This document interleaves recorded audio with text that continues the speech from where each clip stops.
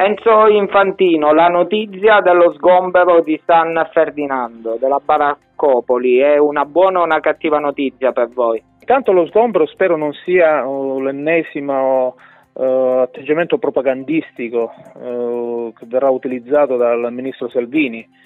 Eh, lì c'è un dramma vero, un migliaio di persone, la maggior parte regolari, che sono venuti nella piana di Gioia Tauro a lavorare un lavoro sfruttato, voglio ricordarlo. Eh, molti di questi mercoledì non sa, sanno dove andare, eh, molti di questi eh, probabilmente troveranno una sistemazione eh, di fortuna. Eh, il nostro è un ragionamento diverso rispetto a, a questa situazione. Certo è che quella condizione è una condizione disumana in cui hanno vissuto, vivono quelle persone. Eh, noi dobbiamo lavorare, stiamo lavorando per cercare una soluzione abitativa, una, una, soluzione dignitosa a queste persone che vengono da fuori a lavorare, spesso sfruttate nelle, nei campi agricoli della piana di Gioia Tauro. Si era parlato addirittura di utilizzare le case della piana, eh, è un progetto che sta andando avanti. Sì, eh, con oh, il Comitato per il riutilizzo delle case sfitte della piana di Gioia Tauro abbiamo lanciato questa proposta. Noi sappiamo che nella piana di Gioia Tauro ci sono circa 35.000 vani sfitti, di cui 15.000 soltanto nella fascia eh, diciamo vicino alla Baraccopoli.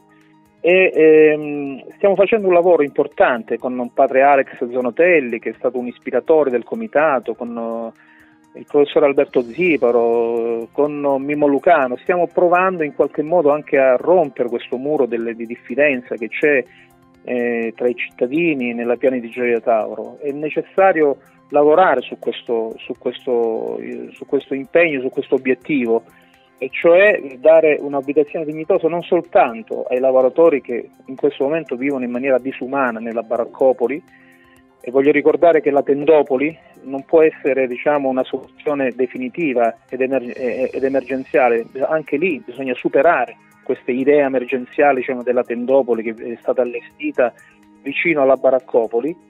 Eh, l'obiettivo deve essere questo, l'integrazione e l'accoglienza diffusa di questi lavoratori, non soltanto per questi lavoratori ma anche per la lavoratori calabresi.